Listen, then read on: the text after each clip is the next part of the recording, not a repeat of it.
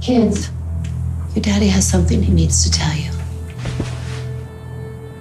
I have cancer.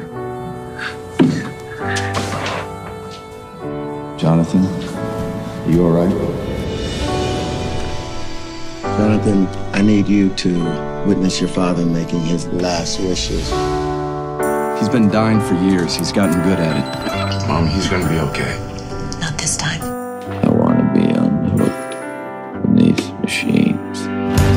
Want to kill yourself? Do it without me. Hello? Got a light? What? Am I gonna get cancer? I filed an injunction this morning. You can't stop him from dying. Just go. We've done fine without you. Jonathan? Emily, How is he? Is he all right? not really. Can't let you do this. Build an argument.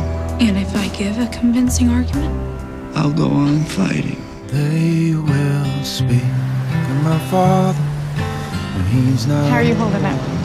I just can't believe that every person on earth has to go through this.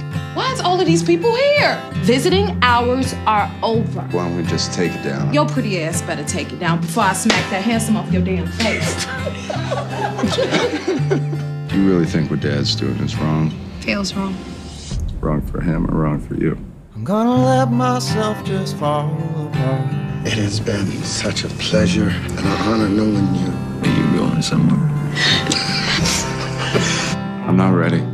This wasn't how it was supposed to end. How was it supposed to end? I